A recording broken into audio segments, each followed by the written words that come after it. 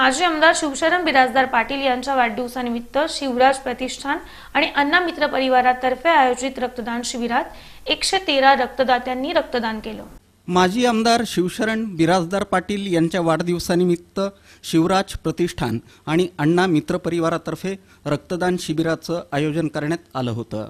या रक्तदान शिबिरात एकशे तेरा रक्तदात्यांनी उत्स्फूर्तपणे रक्तदान केलं.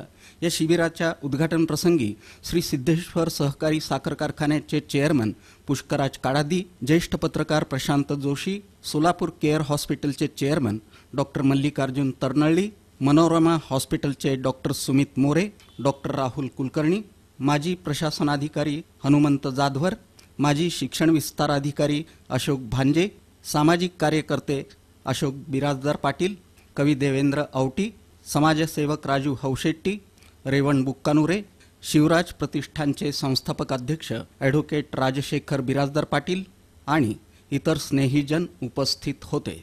या कार्यक्रमात पुष्कराज काडादी यांनी रक्तदानाचं महत्त्व पटवून देत शिवशरण बिराजदार पाटील यांना वाढदिवसाच्या शुभेच्छा दिल्या.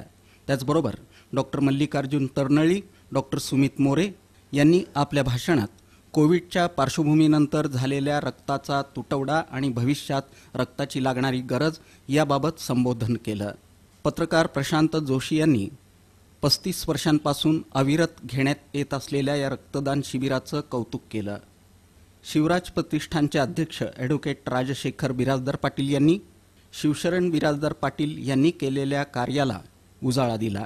अशोक भांजे हनुमंत जाधवर रेवण बुक्कानुरे यांनीही आपलं मनोगत यावेळी व्यक्त केलं.